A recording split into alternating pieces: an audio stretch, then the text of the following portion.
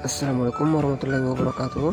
Selamat pagi, siang, sore, dan malam. Salam sejahtera untuk kita semua. Selamat datang di channel saya Channel Petani Berdasi.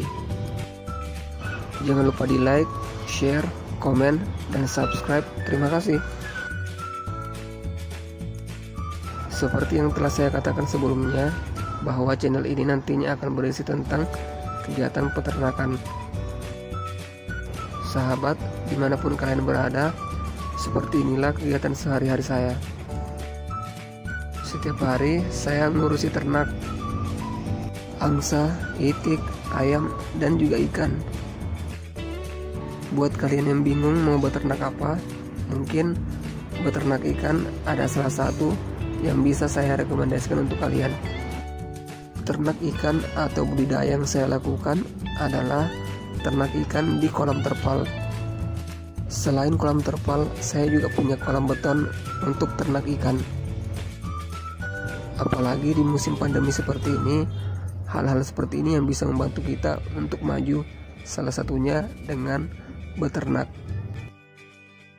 Jika kalian tertarik ternak ikan di kolam terpal, kalian bisa ikuti cara saya seperti ini. Untuk membuat kolam terpal, teman-teman hanya butuh bambu, tiang kayu, dan juga terpal.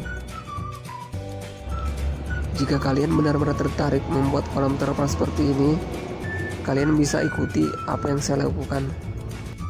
Kalian tinggal ikuti kolam yang saya buat seperti yang terlihat pada video ini. Langkah awal pembuatan kolam terpal ini adalah tiang-tiang dipasang di semua sudut kemudian setelah itu hubungkan dengan menggunakan bambu. Setelah bambu dan tiang dihubungkan kemudian diikat dengan kuat. Setelah diikat dengan kuat maka rangka kolam pun jadi. Setelah itu baru dipasangi terpal. Usahakan terpalnya dipasang dengan serapi mungkin seperti pada video setelah terpal dipasang, kemudian diikat di semua sisinya.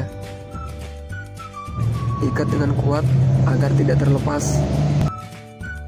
Untuk tinggi kolam saya sendiri hanya 50 cm. Jika ingin maksimal, biasanya tingginya 1 meter.